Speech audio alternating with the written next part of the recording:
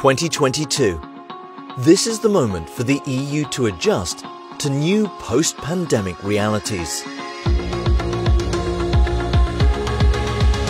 Europeans are increasingly concerned about inflation. Energy prices increased by 27% from October 2020 to October 2021. The COVID-19 pandemic has made it more difficult to get supplies, and consumers are paying more for their purchases, from fuel to housing. These pressures on prices could persist for another year or more, and our economic challenges do not end there. 800 billion euros should help member states recover from the pandemic while designing a new EU that works for everyone. This year, schools' computer systems could be upgraded, public water supply networks could be reconstructed, and private buildings could undergo energy-efficient renovations. Will member states manage to implement their recovery plans by 2026? So far, 6 in 10 Europeans believe so. Additional resources will also help the agri-food sector become more sustainable. 7 in 10 Europeans agree that the agriculture industry should change the way it works. Next year, the new Common Agricultural Policy will introduce eco-schemes and reward farmers for taking care of the environment. Now is the time for more organic farming and crop varieties in the fields. Yet, we need more to address environmental degradation and climate change. Radical decoupling will be crucial to grow our economy while achieving climate neutrality by 2050. 9 in 10 Europeans think it is very important that policymakers set ambitious targets to increase the use of renewable energy by 2030.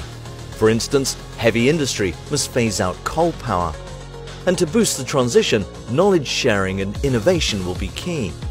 In fact, climate issues are increasingly solved by digital technologies.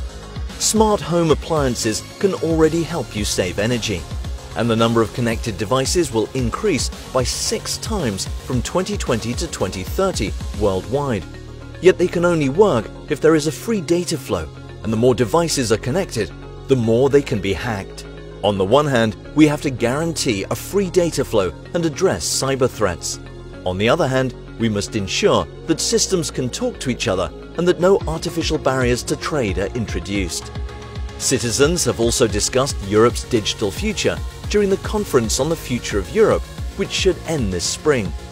The topic of European democracy was one of the highlights in citizens' discussions. Some suggested boosting citizens' representation by using transnational lists and campaigns for elections to the European Parliament. These ideas are in line with the European Parliament's recommendation to develop permanent mechanisms involving citizens in EU decision-making, beyond the traditional electoral period. Yet, EU democracy will never be complete without true equality. Today, same-sex parents can still encounter difficulties when crossing borders. They might not be recognized as the parents of their own children, who could even be removed from their care.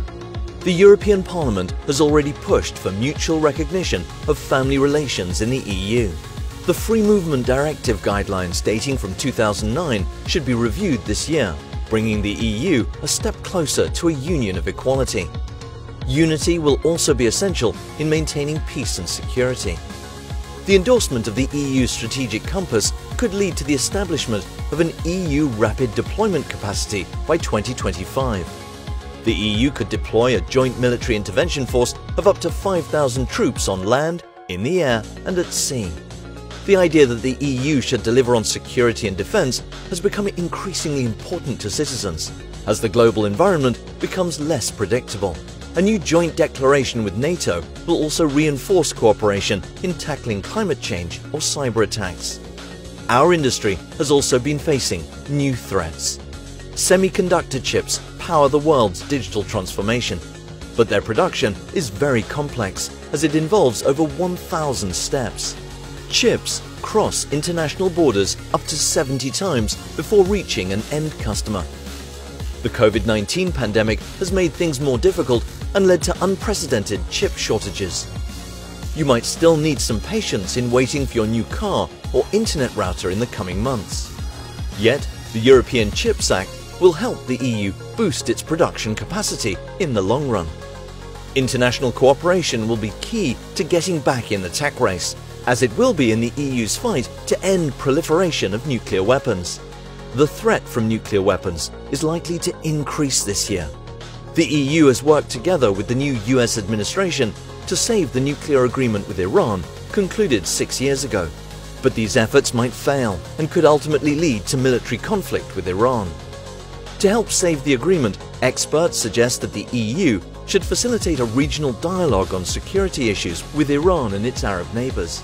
They also recommend that the EU promote civilian nuclear cooperation around the Persian Gulf. This could ensure the peaceful nature of all nuclear energy programs in the region in the future.